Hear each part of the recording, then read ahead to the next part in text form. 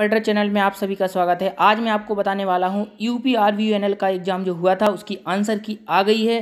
तो आंसर की हम कैसे डाउनलोड करें और उसका जो कट ऑफ़ है, वो कैसे, कितना जाएगा, मैं सारी बातें बताऊँगा। तो सबसे पहले हमें क्या करना है, अपने मोबाइल पर ही सबसे पहले गूगल खोलना है, जैसे मैंने खोल के रखा है, ये गूगल क्रोम। अब हम इसमें क्या करेंगे, इसमें हम टाइप करेंगे U P R V U N L जैसे ही हमने U P R V N L type किया है, इसके बाद हम उसके होम पेज पर जाएँगे। जैसे मैं क्लिक कर रहा हूँ, ऐसे होम पेज को हमने क्लिक किया है।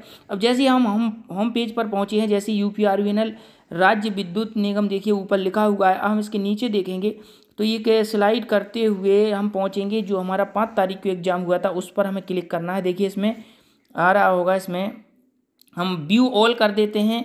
व्यू ऑल में क्या होगा? हमें पूरा दिख जाएगा एक साथ। अब देख लेते हैं इसमें कौन सी वैकेंसी है। तो मैं दिखाता हूँ आपको। पाँच तारीख को जो हमारा एग्ज़ाम हुआ था, उस पर हमें क्लिक करना है। जो हमारी टी जी टू की वैकेंसी थी, मैं उसमें ले जाता हूँ आपको। पाँच तारीख को जो हुआ था एग्ज़ाम हमारा। ये ये नीचे है। इसमें पाँच तारीख को देखिए, इसमें बीच में पाँच तारीख दिया गया। इसको हम क्लिक करेंगे तो देखिए लॉगिन करने का आ रहा। अब आपको क्या करना है, इसमें इंटर यूज़र आईडी कर देना है और पासवर्ड डाल के इधर लॉगिन करना है। जैसे ही आप लॉगिन करोगे तो आपका पूरा प्रोफ़ाइल खुल जाएगा और आप उसमें देख पाओगे कि आपने कौन सा क्वेश्चन अटेंड किया था और कौन सा जो है सही है। इसके बाद में आप अपने नंबर चेक कर लीजिए और कोई भी अपडेट होगा तो मैं आप तक पहुँचाऊँगा। आज के लिए इतना ही। Okay bye bye